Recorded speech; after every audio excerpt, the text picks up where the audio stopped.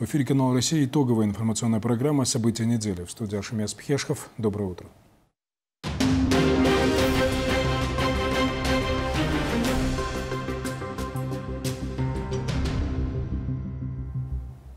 В республике зарегистрирован резкий рост числа госпитализаций больных коронавирусной инфекцией. В связи с этим увеличен до 305 мест коечный фонд действующего ковид-госпиталя в Черкеске.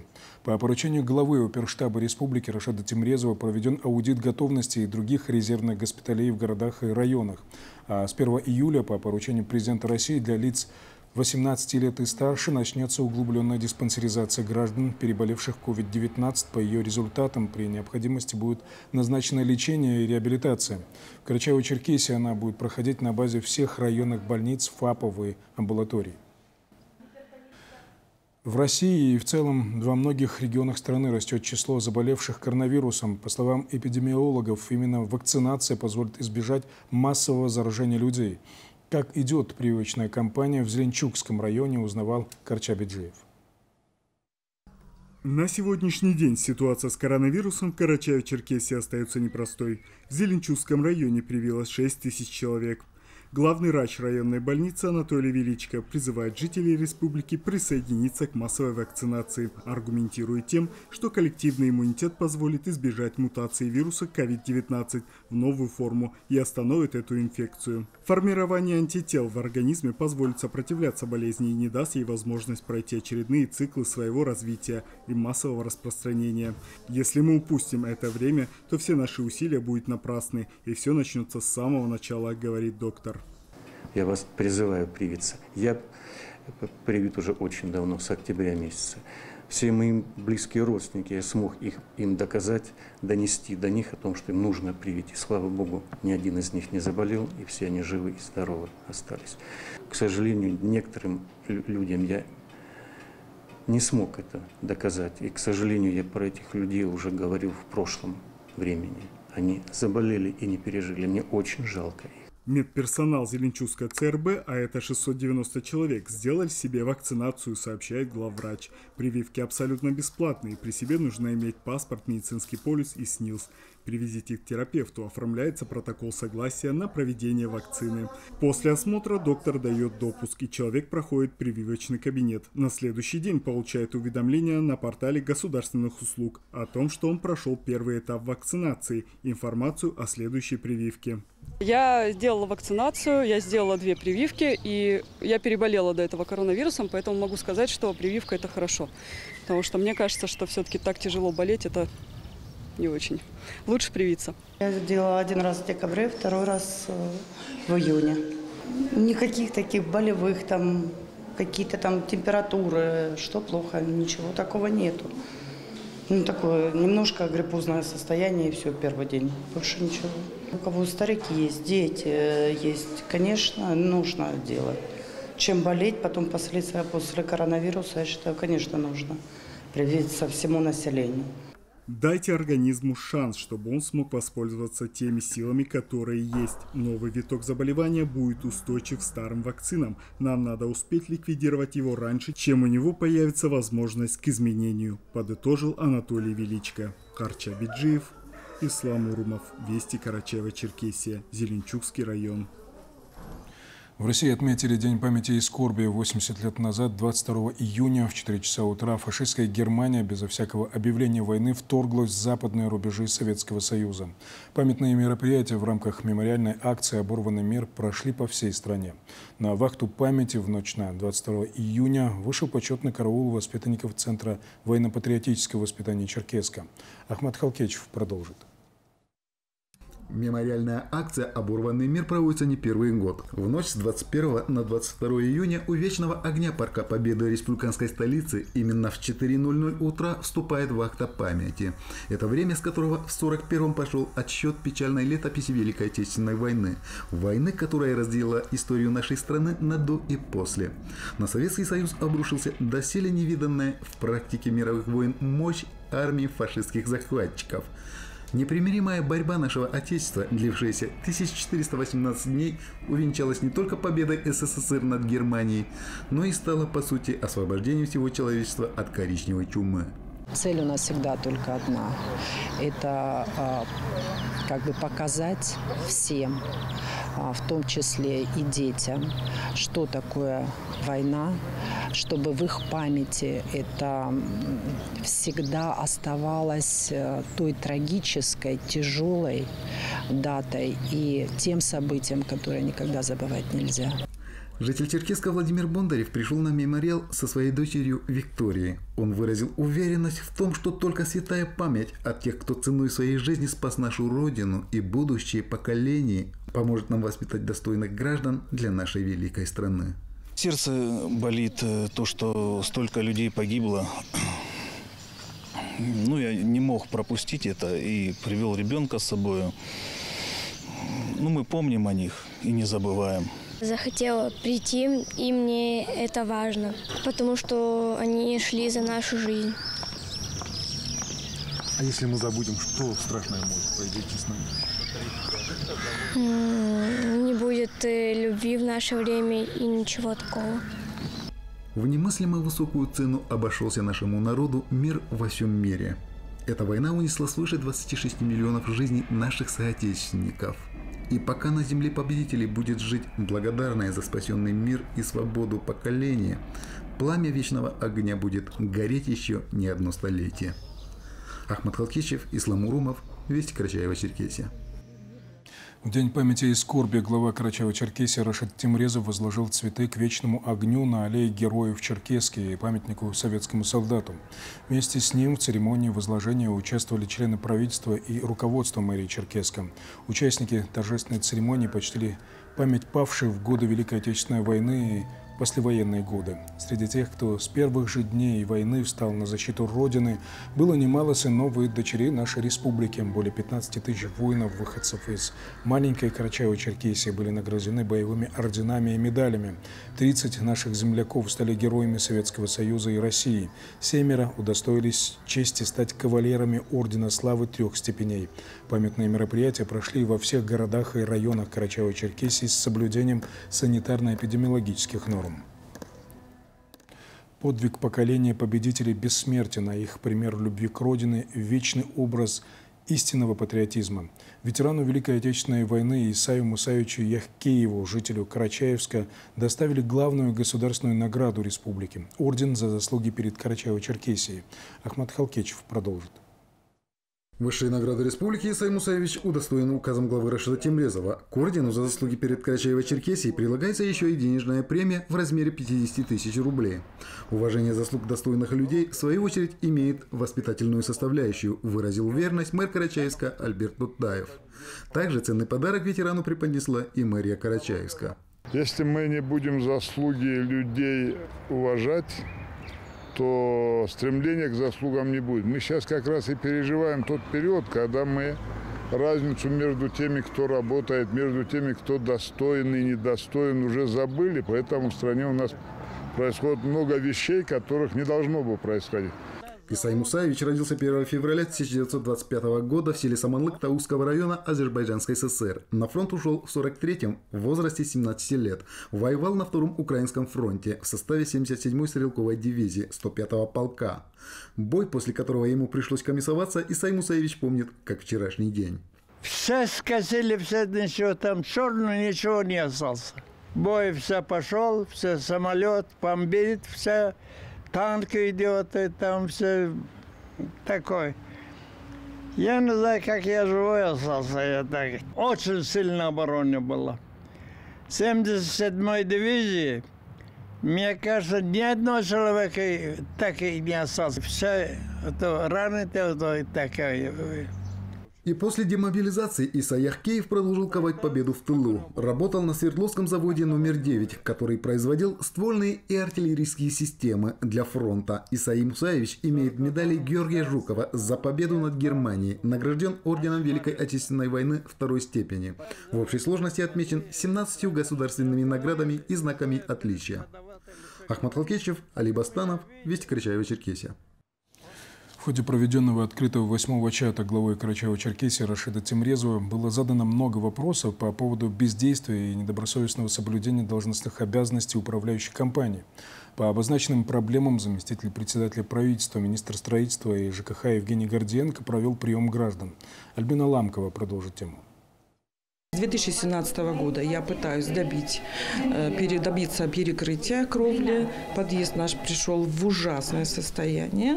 Я пришла к министру на прием, э, чтобы решить этот вопрос, потому что я была и в ЖЭО, я обращалась в средства массовой информации, э, в социальные сети, и проблема не решается никак. Вся столярка пришла в негодность, в подъезде пахнет сыростью, у меня на этаже вообще плесень, хотя на этаже проживает несовершеннолетний малолетние дети.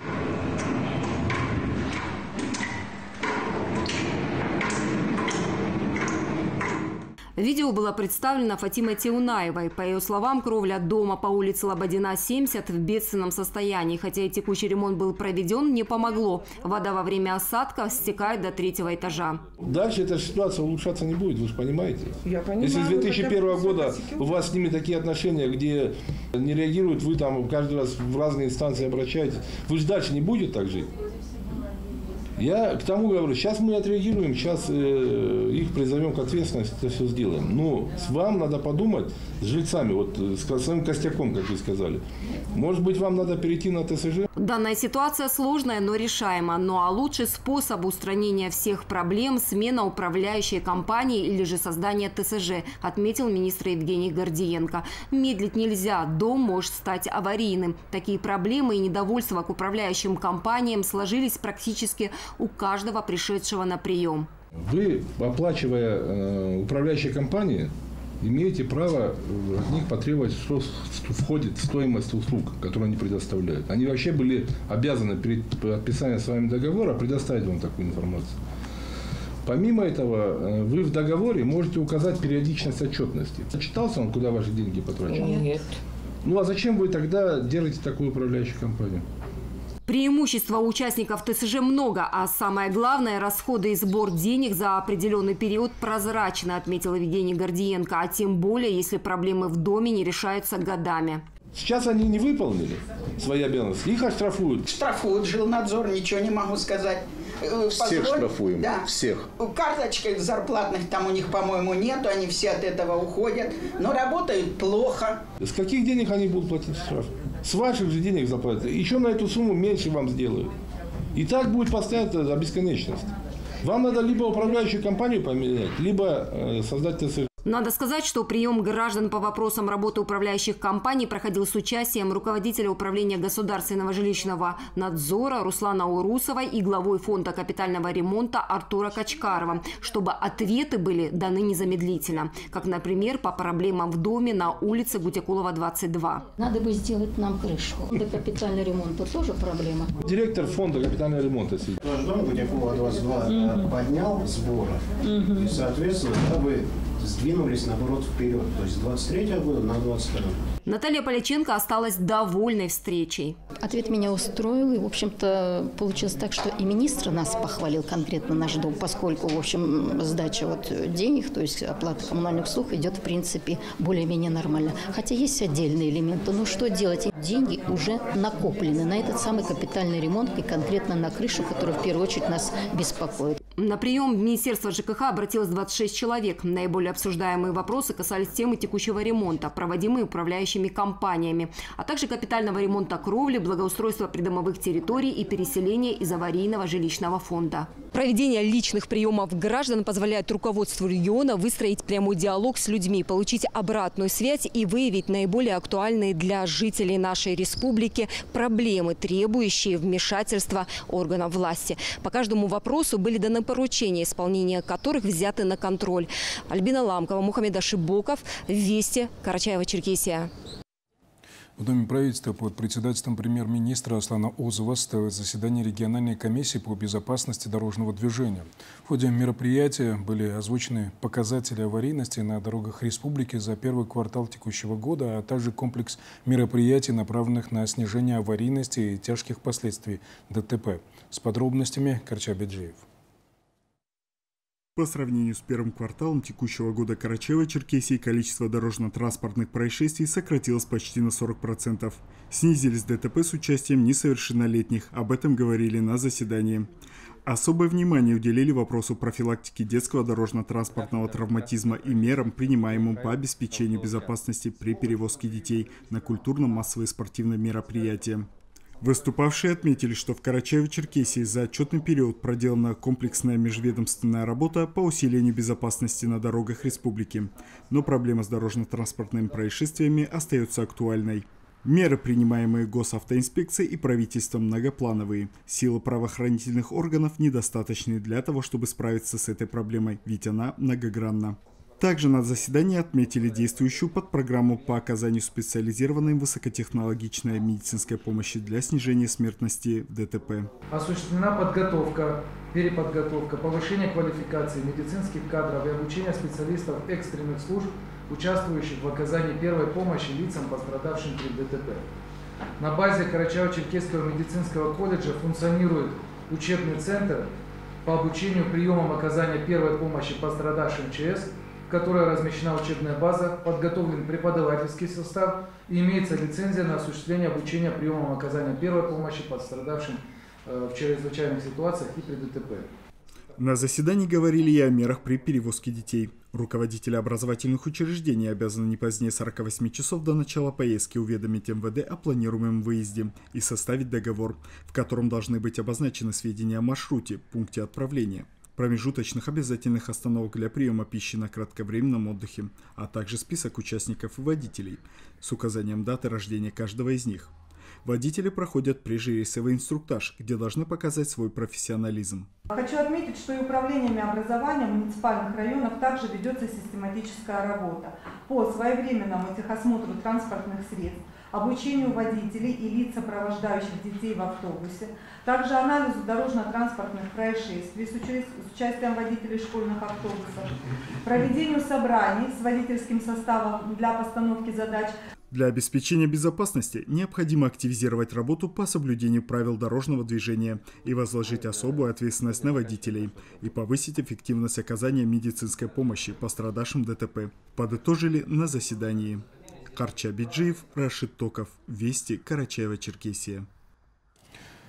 Прямо сейчас реклама, а позже мы продолжим выпуск.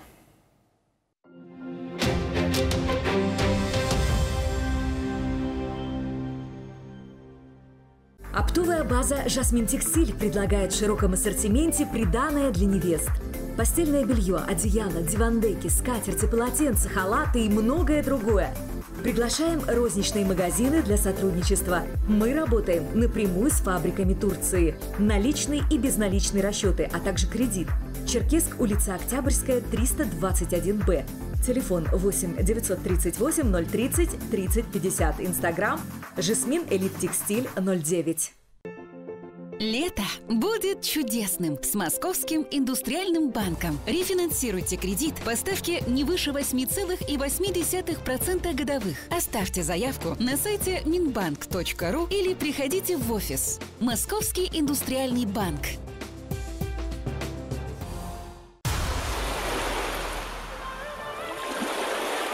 Встречаем летний сезон трендовых диванов «Ангажемент» вместе. Абсолютное погружение в отдых, удовольствие и массу впечатлений. Стильно, роскошно, надежно, удобно. Все включено.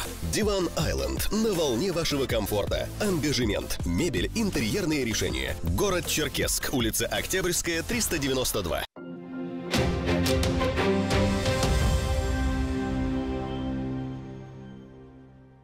В государственную телерадиокомпанию «Карачаево-Черкесия» требуется звукорежиссер со знанием и опытом работы с микшерными пультами и программами. Обращаться по адресу Черкесск, улица Красноармейская, 51 или по телефонам 22 04 75 22 05 47.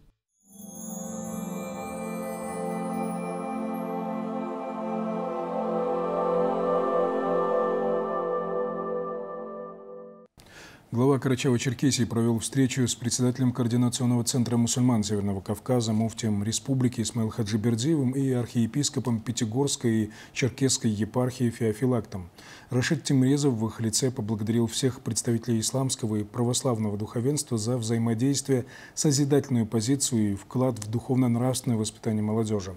Он отметил, что также важна просветительская деятельность и вклад духовенства в сложный период распространения коронавирусной инфекции с целью сохранения здоровья людей. Считаю крайне важной позицию духовенства в процессе укрепления института семьи и семейных ценностей. На протяжении многих лет Карачаево-Черкесия занимает лидирующие позиции по количеству межконфессиональных браков, сказал глава региона. В ходе встречи обсудили ряд важных вопросов по укреплению межконфессионального согласия в республике, воспитанию молодежи, сохранению духовных и культурных ценностей в обществе. Рашид Тимрезов отметил, что наших духовных лидеров всегда отличает стремление к постоянному диалогу с верующими, общее желание сохранить мир, стабильность и взаимодействие между людьми разных национальностей и вероисповедания.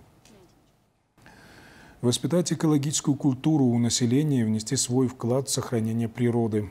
На берегу реки Кубань на территории Красногорского нарзанного источника прошла всероссийская акция «Вода России», собравшая многих представителей различных организаций и жителей республики на уборку мусора. В экологической акции принял участие и наш корреспондент Алихан Лепшоков. Сегодня очень важно сохранять и приумножать то, что мы имеем, и приучать к этому подрастающее поколение, отмечают организаторы Всероссийской экологической акции «Вода России». В открытии мероприятия приняли участие директор Центра развития водохозяйственного комплекса Минприроды России Илья Разбаш, гость нашего региона, постоянный амбассадор акции «Звезда шоу Уральские пельмени» Юлия Михалкова, представители власти республики. Хочу сказать, что уникальные места, уникальные воды Карачаева-Черкесии нуждаются в этом мероприятии. И организаторы сегодня еще большее значение придали, и я думаю, что мы его достойно проведем и в дальнейшем. Вопрос экологии национального проекта находится на особом контроле главы Карачаево-Черкесской республики Рашида Борисовича Темрезова. Хотел бы сказать большое спасибо всей вашей команде. Э, благодаря вам, благодаря вашему опыту работы по всей стране мы берем, учимся у вас в свою очередь, гости республики отметили важность подобных акций, дабы воспитать у населения экологическую культуру. Эта акция в том числе носит и э, образовательный характер. Ведь наши с вами дети, э, внуки и будущие поколения так или иначе станут руководителями заводов, которые сбрасывают неочищенные сточные воды в наши речи. Да, сейчас и сегодня. Это те инженеры, которые будут проектировать доступные варианты тех же самых очистных сооружений. И вот сегодня мы показываем а, непосредственно вот в этой совместной работе, что и государство, и гражданское общество, они едины вокруг а, основной цели – сделать наши а, берега и водные объекты чище. У вас потрясающая природа, замечательные люди. Нужно, конечно, природу сохранять, помогать ей очищаться, потому что природа – это наш дом, это часть нас. И э, так как мы состоим из воды на 80%, то вода вокруг нас должна быть чистой.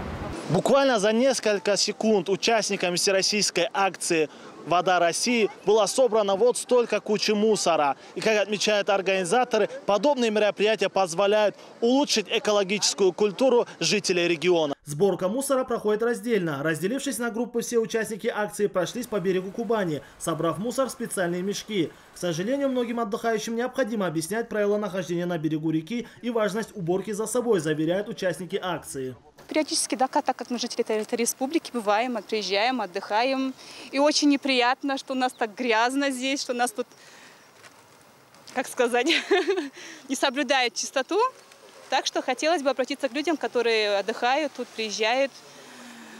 Дорогие жители республики и приезжие, да, пожалуйста, соблюдайте чистоту, чтобы у нас было чисто, хорошо. Субботник еще идет, мы посмотрим по итогам. Вот если мы посмотрим туда, там уже несколько машин готовы к отправке. Это еще не вечер.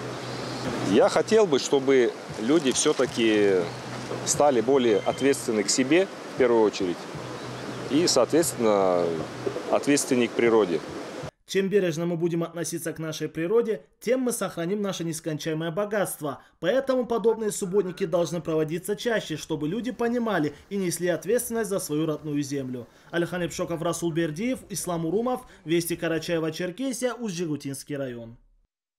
В МВД по Карачаево-Черкесии отметили самых активных представителей медиасообщества. Мероприятие посвятили 38-й годовщине образования подразделений в системе МВД. Ахмад Халкевич продолжит. Отсчет своей истории подразделение журналистов в погонах ведет с 1983 года, когда приказом МВД СССР в структуре центрального аппарата министерства было создано пресс-бюро, отвечавшее за взаимодействие со СМИ и освещение деятельности органов милиции. За свое без малого полувековое становление служба серьезно усовершенствовалась как в плане технического оснащения, так и оперативного реагирования на события. Благодаря оперативным съемкам, которые ведут сами полицейские, у людей появилась возможность видеть своими глазами, как проходят спецоперации по пресечению наркоторговли, террористических террористических актов и иных нарушений закона. От всей души благодарю вас за преданность своей профессии, честность, объективность и профессионализм. Ни для кого не секрет, что уровень доверия населения к органам охраны правопорядка напрямую зависит от уровня их открытости. И в свой профессиональный праздник журналисты-полицейские сочли необходимым отметить и труд своих коллег, гражданских журналистов, обеспечивающих открытость деятельности органов внутренних дел в медиасфере. Служу Отечеству, чтобы нам хватило силы, коль пробьет на партии час, будем мы хранить Россию, чтобы она хранила нас. Спасибо. Правильно выстроенная информационная политика способствует решению весьма широкого спектра вопросов без обострений, подчеркнул главред газеты «День республики» Евгений Кратов. Всегда приятно, когда то, что ты делаешь в силу своих должностных обязанностей, но за это еще и говорят спасибо, Спасибо всегда приятно. Вот спасибо за это спасибо. Обращаясь к собравшимся, министр внутренних дел Карачаева-Черкесии Александр Мельниченко отметил, что современное общество сегодня живет в мире интерпретации. Важно не то, как сказал человек, и не то, как он это сделал, а то, как его подали и интерпретируют. В этой связи очень важную роль играет ваша журналистская объективность и компетентность, резюмировал руководитель ведомства. Мы не говорим даже сегодня про какие-то там буквальные вещи в виде репостов или, или там взаимной значит, э, поддержки в медийном пространстве. Мы говорим о том, что вы все люди не безучастны, абсолютно готовы откликнуться и прийти на помощь коллегам. За это огромное вам спасибо. Большое. Ахмад Халкечев, Ислам Урумов, Вести Карачаева-Черкесия. Приятная новость. Народный ансамбль национального танца «Ашемаз» удостоен звания лауреата первой степени Международного фестиваля конкурса детского и юношеского творчества «Звездочки Адыгеи», который прошел в Майкопе. Танцевальное мастерство юных джигитов и горянок из Карачаева-Черкесии было признано жюри одним из лучших. Учат красивым танцам ребят опытные наставники, художественный руководитель Зураб Азроков и балетмейстер Ахмед Адамоков. Возрождая былые традиции в республике после нескольких лет перерыва состоялся открытый турнир по национальной борьбе «Тутуш» на призы Курманбия Алчакова. Дворец спорта «Олимп» Карачаевска собрал вместе десятки спортсменов из разных регионов. Алла Качиева о том, как проходила борьба и кто стал обладателем главного трофея турнира.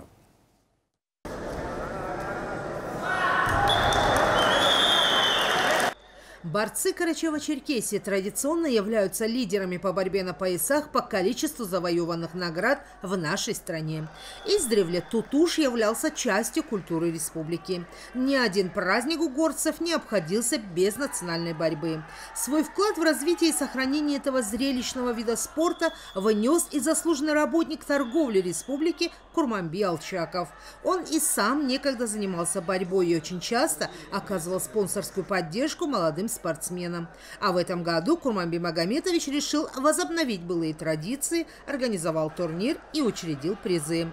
За пропаганду спорта и здорового образа жизни, за вклад в укрепление дружбы между народами, сохранение обычаев, традиций, за организацию праздника старейшина села Дружба преподнесли ему подарок в виде жеребца карачаевской породы.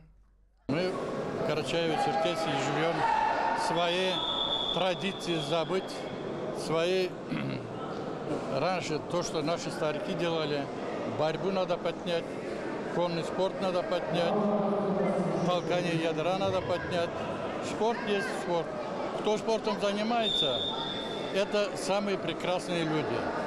У них и голова, и кровь чище всех. Национальная борьба – бросковый вид спорта. Традиционно перед схватками борцы танцуют несколько минут, чтобы разогреть и размять мышцы. У нас э, в основном основное направление вольная борьба, но наши ребята здесь борются. Ну, это именно для нас это э, тоже мы отрабатываем броски, борьба на пояс, э, борьба тут уж именно э, в этом и состоит, что броски идут здесь.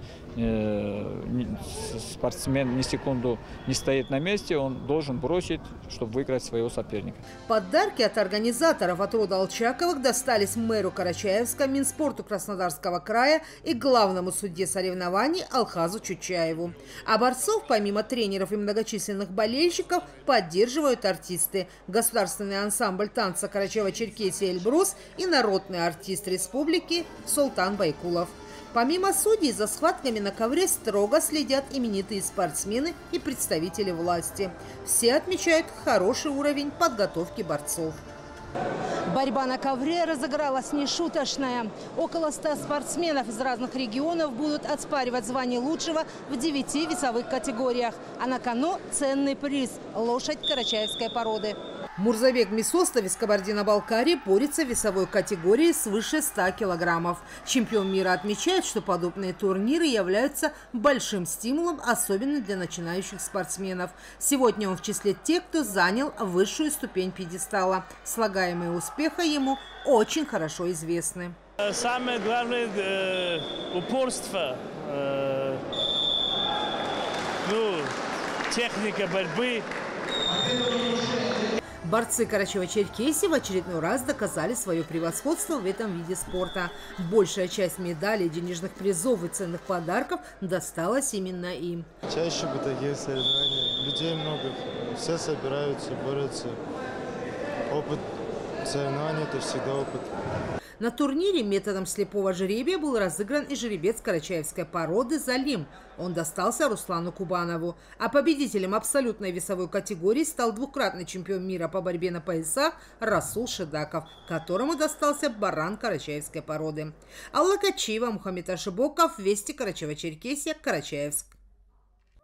Это вся информация, подготовленная нашими корреспондентами к итоговой программе «События недели». Я благодарю вас за внимание. Пусть в ваши дома приходят только добрые вести. Будьте с нами. До встречи.